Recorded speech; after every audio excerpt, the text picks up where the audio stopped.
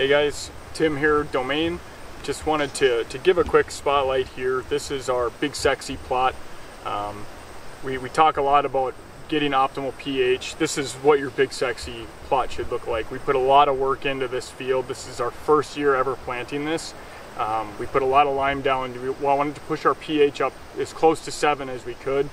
Um, certain areas of this field are a lot sandier. Some of it has more thick, good black dirt. Um, but good varieties here. You can see the kale, we got radish, we've got uh, trophy rape, uh, turnips. This is going to be a premier uh, fall spot for us.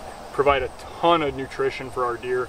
Um, but plots like this don't just happen by putting the seed in the ground. So Mike and I are always available. Um, we're on Facebook Messenger all the time answering questions for folks that maybe it's their first time putting a plot. Maybe they've put plots in for years and they just haven't seen the results that they want.